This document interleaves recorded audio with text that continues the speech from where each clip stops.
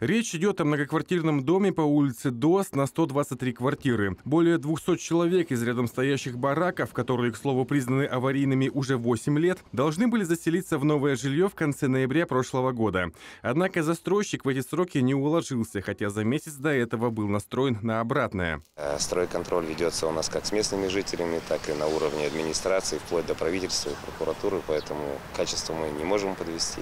Ну а по срокам будем стараться успевать, наращиваем производство, наращиваем. Здание возводится в рамках национального проекта «Жилье и городская среда». Заключен муниципальный контракт с администрацией Абазы. Те, в свою очередь, за процессом стройки тщательно следят и, как комментируют, сильный простой в строительстве наблюдался этой зимой.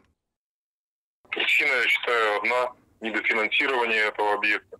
Либо большие объемы, которые у подрядчика в работе были.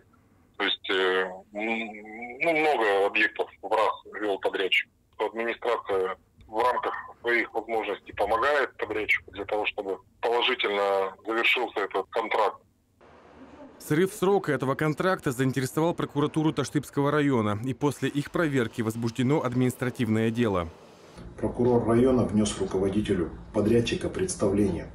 По материалам проверки, постановлением мирового судьи, подрядная организация привлечена к административной ответственности по части 7 статьи 7.32 Кодекса Российской Федерации об административных правонарушениях к наказанию в виде штрафа на сумму более 4 миллионов 700 тысяч рублей. На сегодняшний день контракт на стройку действующий, поскольку подразумевает под собой выполнение обязательств двух сторон, а подрядчик свои работы еще не окончил. И как отметили в администрации Абазы, на днях строители все же увеличили темпы производства. Подрядчик привлек на объект больше людей и закупил недостающие материалы.